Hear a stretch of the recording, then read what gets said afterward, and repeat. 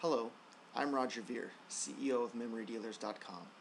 Recently, I have noticed a lot of videos on YouTube where people are saying that Bitcoins are a scam, a Ponzi scheme, or otherwise a bad idea. I disagree, so I would like to invite those people to put their money where their mouth is.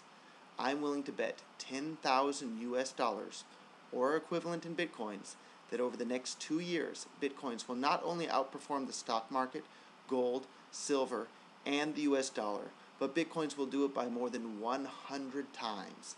This means that I am willing to bet that if silver is up by 100% over the next two years, I think Bitcoin will be up by more than 10,000%.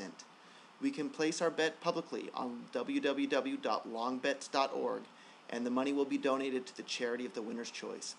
If you really think that Bitcoins are such a bad idea, please contact me so we can make our bet public. I'm confident that Bitcoins will change the world, and I'm excited to be a part of that.